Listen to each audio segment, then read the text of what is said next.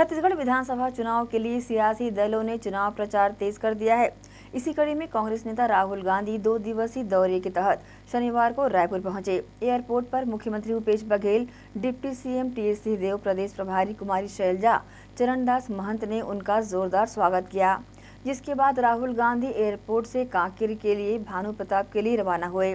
राहुल गांधी के छत्तीसगढ़ दौरे की जानकारी देते हुए मुख्यमंत्री भूपेश बघेल ने कहा कि राहुल गांधी के आगमन का लोग उत्साह से इंतज़ार कर रहे थे। राहुल जी आ रहे हैं और कोंडागांव ज़िले में और कांकेर ज़िले में दो कार्यक्रम है फरसगांव और भानुप्रतापपुर में। और दोनों जगह लोगों बड़े उत्साह होकर इंतज़ार भी कर रहे हैं। और आज कुछ और गारंटी की घोषणा राहुल जी कर सकते हैं।